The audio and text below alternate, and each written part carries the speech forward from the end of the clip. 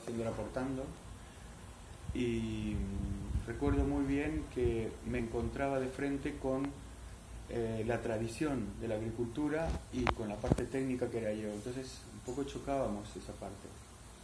Eh, chocábamos porque la gente mm, tenía unos, unos conceptos que no eran técnicos, eran unos conceptos de campo, unos conceptos que la agricultura era muy nueva en esas cosas y por lo menos en ese campo.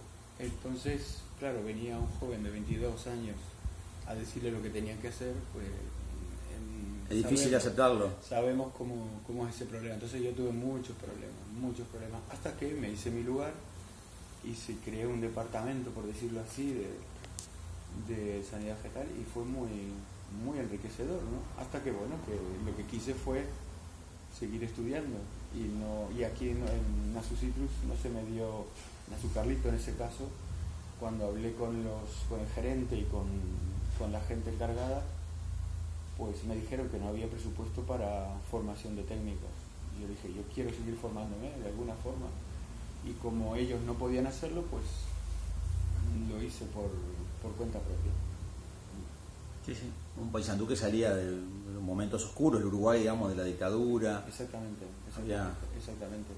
Hombre, todas las cosas influyeron. Yo no quería una continuidad en mi vida, yo quería un cambio. Y entonces también todo, todo se juntó.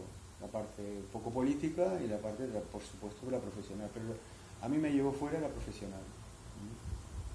Nada más que, bueno, que sí que tuvo que ver la parte política.